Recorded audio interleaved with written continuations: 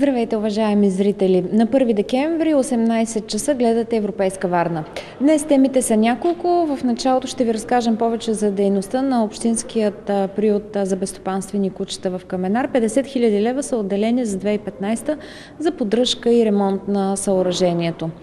Във втората част ще видите Лидия Маринова за училищното здравеопазване, както и с коментар по темата, че от 1 януари 2015 година заетите в общинското здравеопазване ще получават с 30 до 50 лева повече. В края на изданието коментар по актуализацията и новоприетият те първа предстои да бъде прият бюджет за 2015 година. В края на миналата седмица имаше публично обсъждане.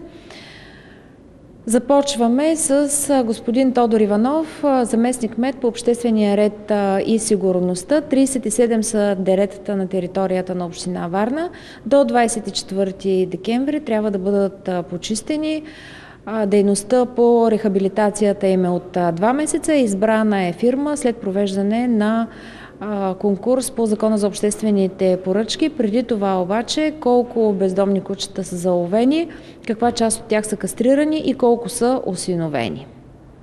Господин Иванов, какво се случва с а, приюта за безстопанствени кучета и какво показват данните а, за периодът, а, за който вие имате справка по отношение на кастрацията на бездомните животни, тъй като обичайно през есента така се наблюдава негласно мнение, че има повече кучета по улиците. В последното ви заключение е абсолютно вярно, но аз ще започна с, с малко по-отрано. Като ми зададете въпроса какво се случва, имам усещането, че някой внушава в общественото пространство, че приюта не работи добре и вероятно нещо става с него. Съвсем отговорно искам да заявя пред Варненската общественост, че приюта, както за кратко наричаме Общинския приют за безстопанствени кучета, работи добре и то се дължи на усилията на съответната дирекция, която управлява този период. Какво имам предвид? В сравнение с а, миналата година, аз съм направил така, статистика, а, данните са в десетки пъти по-добри в много от показателите, по които се отчита дейността. Ако позволите, ще ви прочета и тези данни. Говорим за период от 15 юли 2013 година до момента. За 2013 година уловените животни са 147. Говорим само за безстопанствени кучета. А за 11-те месеца на тази година уловените животни са 846. Това са 6,5 пъти повече. Кастрираните животни 58 за 2013 година, сега са 678. Това са повече от 20 пъти повече а, животни. Вакцинираните животни 119, 119 за 13 година, 828 за тази година.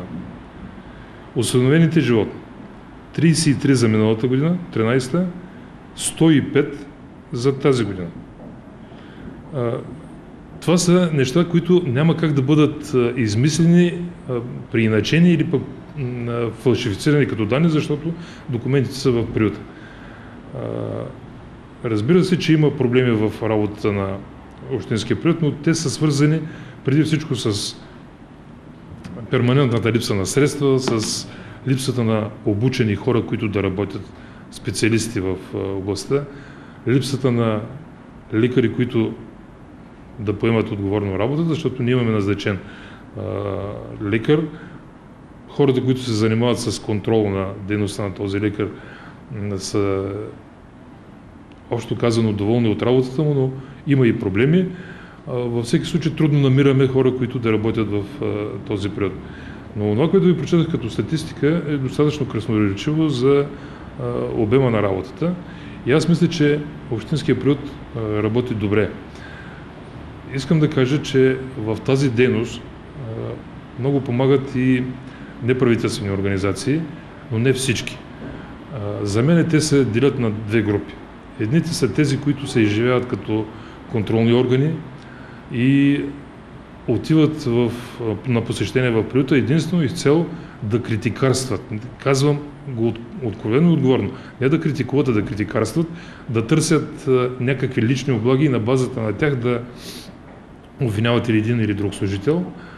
И след това, това, което бъде заснето в приюта, се приначава и се публикува в интернет или по друг начин в публичното пространство и то категорично не отговаря на истината.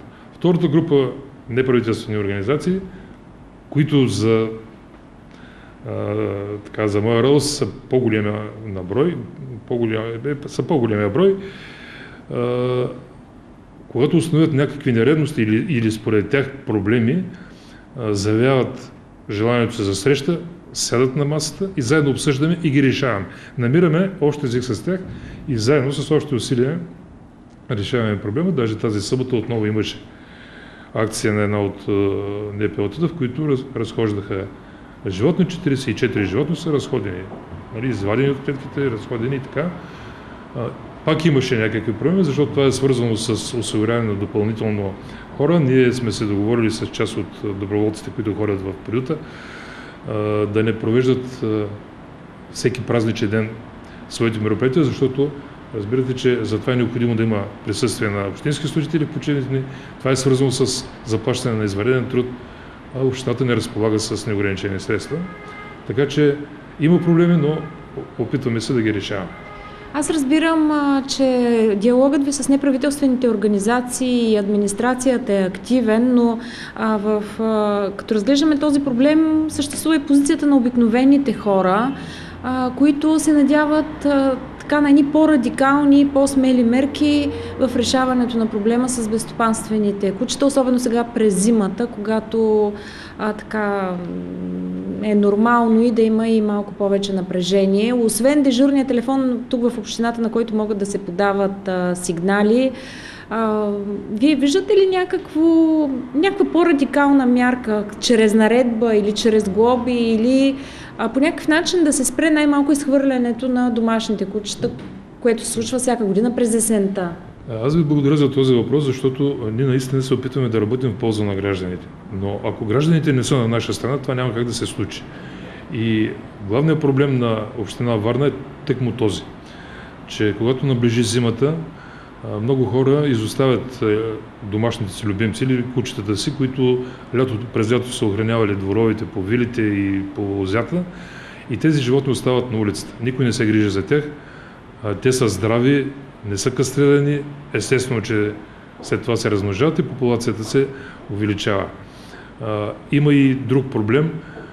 За съжаление, общините около град Варна не разполагат с общински приют – и те по някакъв начин решават проблема с безстопанствените кучета, който не винаги е удачен за общината. Казвам го директно, защото имаме сигнали, че от Добрич, от други градове се носят кучета и се изхвърлят на територията на община Варна и ние след това трябва да ги прибираме. Не сме заловили никого в това отношение, защото няма как да се случи за сега това, но, но го има като факт. Това е един от една от причините да се увеличава и популацията, защото идват здрави животни, които не са кастрирани и след това се размножават. По отношение на, на мерките, аз мисля, че имаме достатъчно законови и подзаконови нормативни актове, които регламентират не на 100%, но в достатъчна степен и популация, и задължения на гражданите, и ангажиментите. лошото е, че тези нормативни актове не се спазват. И аз не мисля, че има нужда от нова наредба или от нов закон, просто това, което е разписано в нормативните актове, трябва да се спазва. И според мен решението е в засилване на контрола от страна на Общинската администрация, на контролните органи, на МВР, на Общинска полиция, за да можем, звучи грубо, но така е, да дисциплинираме гражданите, защото ако домашните любимци не се изхвърлят на улицата, а се гледат по подобаващ начин, няма да има и бездомни животни. За съжаление, за съжаление това не се случва в момента и а, според мен би следвало да се засили а, контрола. Аз имам и данни за, на звеното, което се занимава с контрол и регистрация. Това е звеното не водещо се към общинския период. Това е самостоятелно звено на подчинение пак в дирекция Оскор на общината, което има за задача да контролира домашните любимци, за това дали са регистрирани, дали се отглеждат по правилния начин. Същото се отнася и за осиновените животни, които са взети от приюта. След това гражданите имат ангажимент да се грижат за тях, да бъдат чипирани, да се обезпаратизяват и въобще да се полагат грижи. Така че това звено се занимава и с този контрол. През миналата година, 2013 година, са работили по 223 жалби. Тази година жалбите са 257. Направили са 75 предписания. Актовете, които са съставили това звено, през миналата година са били 151, през тази година са 202, почти двойно увеличение на, на актове, т.е. и санкциите са по-големи наказателните постановления от 122 миналата година, сега са 183. Искам да ви кажа, че след Общинска полиция това звено има съставени най-много актове за установени административни нарушения, като не искам да, да оправдавам това звено, че върши перфектно работа си, но а, наистина работи активно. А, не случайно обръщам внимание на звеното за контрол и регистрация, защото една от неправителствените организации имат а, някакви отношения по, за ръководителя на това звено. От години публикуват срещу него в публичното пространство и в интернет твърдения, които според мен са необосновани, тъй като са свързани с контролни проверки, включително и от контролния орган, в случая това е ОБДХ, Агенцията за безопасност на храните и те не са констатирали никакви нарушения в тази дейност. Разбира се, че и там има проблеми, т.е. активността трябва да се засили, защото много животни, въпреки контрола, се изхвърлят. Но искам да кажа, че и това звено според мен работи на добро ниво. Не казвам, че е отлично, но на добро ниво и резултатите са на лице. Графика за почистване на деретата, какво се случва в момента? А, преди около месец господин Пейчо Пейчев каза, че амбицията е до края на годината така да има една абсолютна проводимост на всички дерета в града. По отношение на почистването на деретата мога да кажа следното. Сключен беше най-после договор с фирма, която да се занимава с тази дейност. Наскоро пред ваши колеги, вече не помня коя телевизия беше, но а, коментирахме въпроса и там казах, че а, близо 50 години а, деретата във Варна и региона въобще не са пипани, не са почистени, което означава, че те са пълни с растителност, с отпадъци, които хората са изхвърлили. Най-лошото с незаконни строежи, които няма как да се реализират в дере, защото там е държавна собственост, но така иначе ги има. И в резултат на това при валежите и при наводненията се получават големи проблеми с наноси, с запришване на водата. така иначе общината сключи договор след съответна процедура по ЗОП, избрана е фирма и тя започна работа, като срокът на изпълнение на договора е два месеца и той е изключен на 24 миналия месец. Така че, по-предния иска да кажа, да, крайният срок за изпълнение на договора е 24 декември. Направили сме график за почистване на деретата. Всяка седмица ние коментираме това какво е изпълнено до момента. Подготвили сме а, и видеоматериали в смисъл а, осъществяваме контролна дейност, какво е било преди започването на чистенето, какво се случва в момента и какво ще се случи след приключване на, на почистването. Мога да кажа, че от 37 дерета, които са в Варна, най-много са в район Приморски. В момента се работи по 24-25 дерета. Договорът е сключен за почистване обаче на участъци от дерета, не на целите дерета, това трябва да е ясно, защото не целите дерета са замърсени. Например, тези, които се вливат в Шокоровия канал, една част от тях са бетонирани. Изградени са от бетонни плоскости и панели. Там се чисти много бързо и много ефективно, но там, където не е, букуците са повече. Та, почистването се осъществява на участъци от дерета.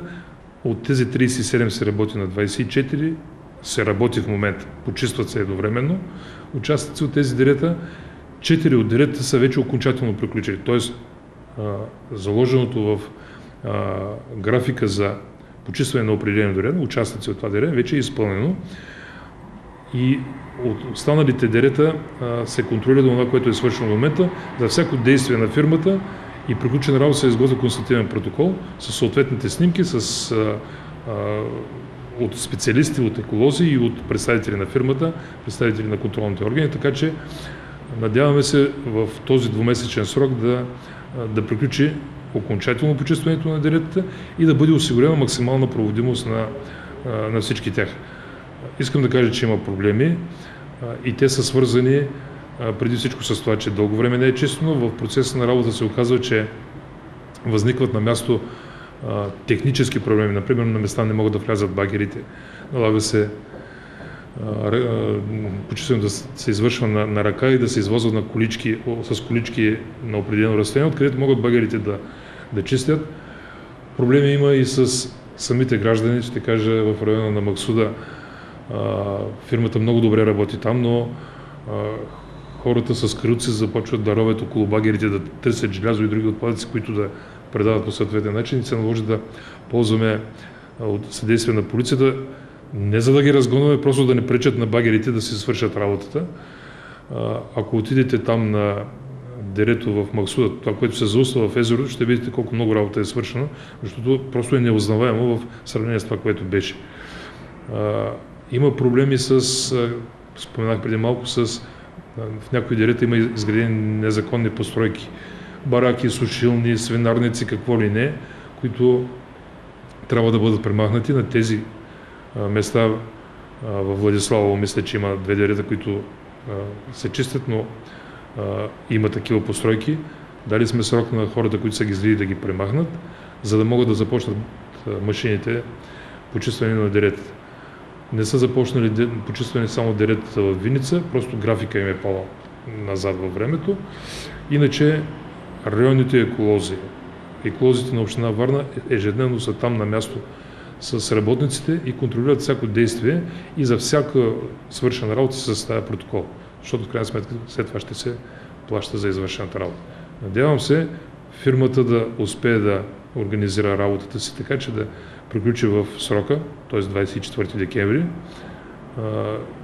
Мащабите, които има и обема на работа са огромни. Аз лично няколко пъти с директора на дирекцията сме обикаляли и преди започване на работа и след това местата, за да видим как работят. Не съм специалист, но според мен ще им бъде много трудно да се справят с задачата, защото ви казах, че на място възникват много проблеми. Някога гражданите в незнанието си какво се случва, почват да пишат жалби за камионите, които им пречили да, нали, да почиват, за това, че са натрушили плочките, за това, че са да влезли в градинките около деретата. Да, има го и това, но а, ние с фирмата сме се оговорили и това го, а, ще го контролираме. Всичко, което е разрушено, като градинки, като паркове, като почва, ще бъде възстановено. Няма как да влезе 15-20 тонен камион, за да изхвърли отпадъците, без да наруши примерно градинката, която е около дерето. Или ако има тротуар, там да не щупи няколко плочки. Това се случва, но ще бъде възстановено. И затова също сме поли ангажимент да го контролираме, за да можем да, като приключим работата, да няма нали, незавършени дейности и средата около деретата да бъде облагородена. Какви са средствата, които са заделени за почистване на всичките 37 дерета? Значи, аз не, не мога да кажа като сума, защото това се занимават финансовите а, служби на общината, а, но смятам, че цялата дейност, която е заложена, ще бъде изпълнена и тя е в рамките на определена сума, която е, е известна на фирмата, така че те трябва да се поместят в тази сума. Само това мога да кажа, иначе не мога да кажа каква е точно сумата. Вероятно ще има искания и за допълнителни плащания, защото вече го казвам няколко пъти, на място се налага да се върши повече работа от предвиденото, защото има непредвидени обстоятелства. Но аз мисля, че фирмата ще бъде коректна и няма да надвишава това, което сме заложили като първоначални цени.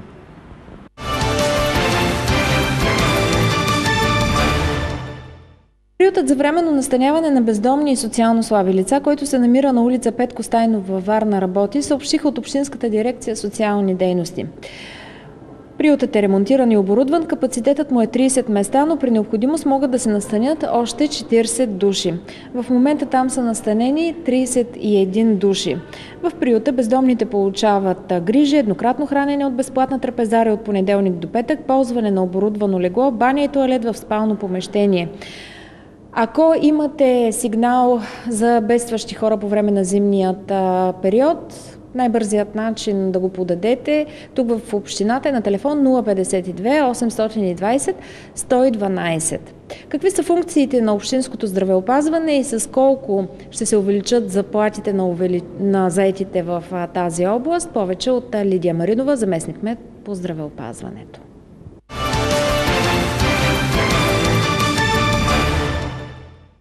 Доктор Маринова, какви са ангажиментите на общината спрямо училищното здравеопазване?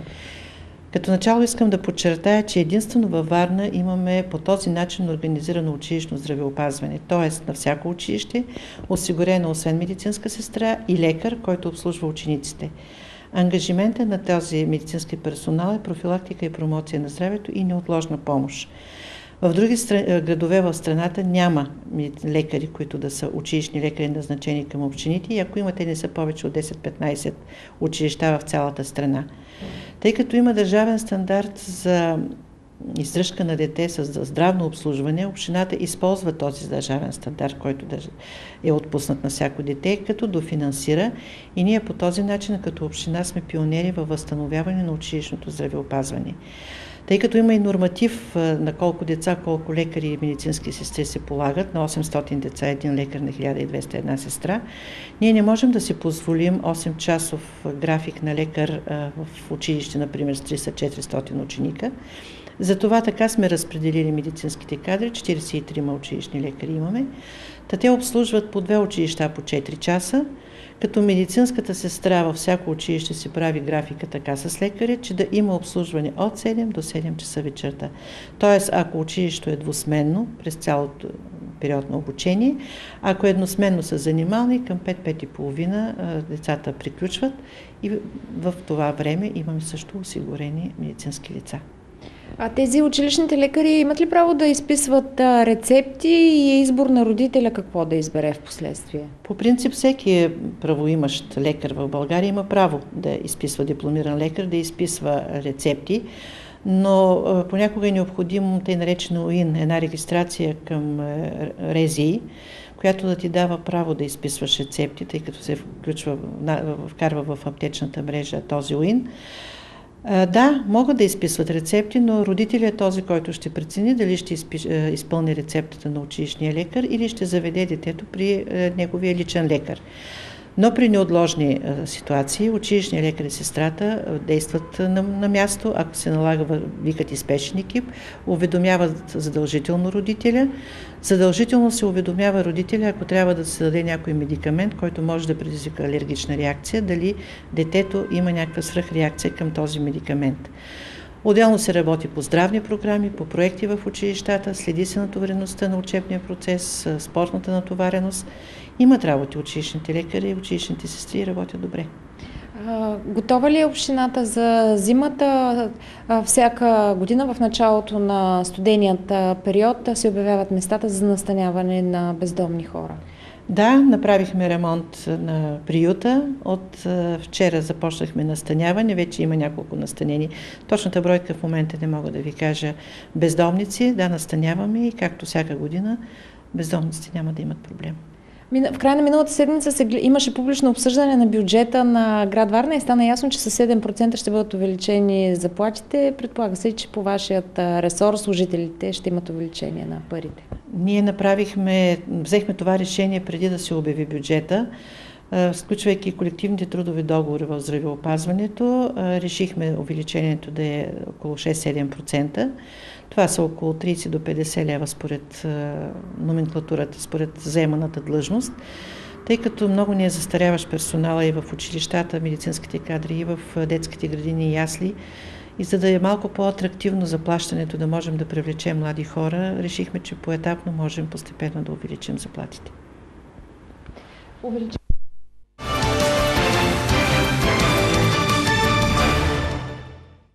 Бюджетът на Община Варна за 2015 година е рекорден по размер и е бюджет за хората, заяви заместник метът Пейчо Пейчев по време на общественото обсъждане на проекто документа, което се състоява в зала пленарна в края на изминалата седмица. Пейчев посочи, че 81% от средствата заложени в него са планирани за образование, социални дейности, здравеопазване, младежки дейности и спорт. 234 милиона лева е макрорамката на бюджета за 2015, което е рекорден размер в сравнение с бюджетите от преди преди началото на финансовата криза през 2008 година. Вижте повече от коментара на заместник метът Пейчо Пейчев по време на публичното обсъждане на проекто бюджета. Ще чуете и коментар за това какво предстои по отношение ремонта на детските площадки на територията на община Варна. Ясно е, че това е една от най-коментираните теми и е голям проблем за хората и по районите. Предстои през 2015 година по-голямата част от детските площадки да бъдат ремонтирани, тъй като до края на 2016 те трябва да бъдат сертифицирани по европейските изисквания. Уважаеми господа, дами и господа, предлагам да преминем към проекто бюджет 2015 година. Само преди да стартирам слайдовете, искам да кажа, че Философията на бюджет 2015 година това е бюджет на гражданите на град Варна. Защото за провеждане на социални, за, за провеждане на политики в социалната в сфера, в здравеопазване, в образование, младежки дейности, спорт, бюджета на общината е на 81% от бюджета на общината е за тези дейности изключително така акцентиран върху политиките в тази сфера в полза на гражданите на община Варна. Допълнително бих могъл да подчертая, че това е един от най-високите бюджети в последните години. Не знам дали има такъв бюджет в последните 10 години. Рамката на бюджета е приблизително 235 милиона лева. В сравнение с 222 милиона през а, бюджет 2014 година. Като имаме в предвид, значи увеличението а, на бюджета е приблизително 13 милиона лева, като имаме в предвид, че за бюджет 2014 година имахме преходен остатък някъде около 14 милиона лева. Тази година това, което е направено като проекто бюджет, приблизително 235 милиона лева, тук няма предвиден нито лев преходен остатък. Да, той сигурно ще бъде променен на базата на отчета, който бъде направен към края на годината и на базата на а, трансферите и бюджета, който ще бъде, държавния бюджет, който ще бъде, или републиканския бюджет, който ще бъде прият от Народното събрание. Така че всички тия промени, които ще бъдат приети, те ще бъдат отразени допълнително в проекто бюджет 2015 година. През 2015 година, заедно с бюджета, който ще приеме Общинският съвет и средствата, които се предлагат за европейски проекти, общият бюджет ще бъде някъде около 350 милиона лева, който ще осигури развитието на град Варна и на община Варна. Следващ сериозен приоритет това е политиката в функция образование с най-голям относителен дял 37% и продължаване на социалната политика на общината, подобряване на достъпа и качеството на предлаганите социални услуги, разходите в здравеопазване, социално подпомагане, инженерна инфраструктура също са приоритетни и представляват 81% от всички разходи през годината в бюджет 2015 година. Друг сериозен приоритет това е изпълнението на капиталовата програма за 2015 година, която възлиза над 40 милиона и 802 хиляди лева, чрез обновяване на съществуващи изграждане на нови инфраструктурни проекти. Капиталовата програма е увеличена спрямо тази в първоначалния бюджет на 2014 година с 3 милиона и 600 хиляди лева. Реализирането на програми и дейности в социалната сфера, в туризъм, транспорт, спорт, младежки дейности, превенции, културната програма, образователни и здравни програми и дейности възлиза близо на 20 милиона лева. Друг много сериозен а, така, акцент, върху който искам да обърна внимание, че Варна през а, настоящата година беше избрана за Европейска младежка столица през 2017 година и това ще даде възможност а, Варна да представи достойно България пред Европа и света и ще даде възможност, разбира се, на нашият град да така насочи своите усилия за реализация и изпълнение на нови европейски проекти за изграждане на нови инфраструктурни обекти.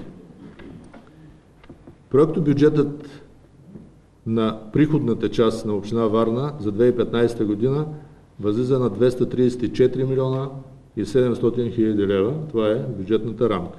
За следващата година сме предвидели да направим проекти и да извършим ремонт на 233 площадки. Общо площадките в град Варна са 408. Знаете, че има задължение общината до края на 2016 година всички площадки, които са на територията на община Варна, трябва да бъдат ремонтирани и сертифицирани. Така че това, което ние ще сме планирали да извършим е част от общия брой площадки за приблизително тази стоеност. Към днешна дата няма отворена програма, по която ние може да кандидатстваме. През следващата година ние ще направим работни проекти за всяка една площадка. Ако в началото или в средата на годината се открие възможност за финансиране по оперативна програма или някакъв друг източник на финансиране, ние ще имаме готови проекти, които веднага да представим в съответния орган и да получим финансиране без да ползваме тези средства. От една страна. Или от друга страна, казах ви, че общия размер е 408 броя. Има достатъчно голямо количество площадки, които няма да бъдат засегнати, така че според а, а, вида на оперативната програма и сроковете за изпълнение, тези останали площадки всъщност могат да бъдат заявени за финансиране там и да бъдат целево финансирани по, по този начин. Зависи как ще тръгват нещата по оперативните програми през следващата година. Но така или иначе, нашата основна цел е, че ние ще имаме проекти, които да бъдат на линия и ще действаме според ситуацията, която възникнал. Запознайте се с наредба номер едно, която касае изискванията към детските площадки. Там срока беше единия път до 2000, края на 2013 година, беше и сега е в момента удължен до 2016 година.